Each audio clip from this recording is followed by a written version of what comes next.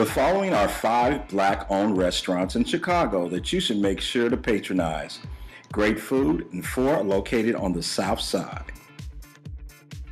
Number one, Batter and Berries. This three star restaurant in the Lincoln Park area serves favorites like crab cakes, eggs benedict, cheesy hash browns, and sweet potato waffles. The owner and chef is Derek J. Ryland. Number two, Five Loaves Eatery.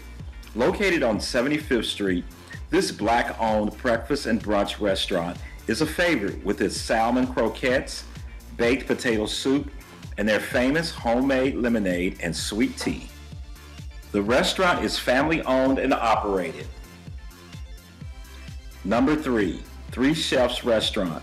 Located on Halsted, this family owned restaurant brings people coming back for their sweet potato pancakes, gumbo, catfish, and strawberry lemonade.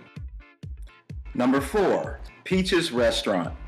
Located on South King Drive, they are known for their salmon croquettes and cheese grits and peach flavored coffee. They are considered one of the best restaurants and serve breakfast all day and brunch. Number five, Lighthouse Whole Food Grill. Eric opened Lighthouse Whole Food Grill to bring healthy fast food to his community.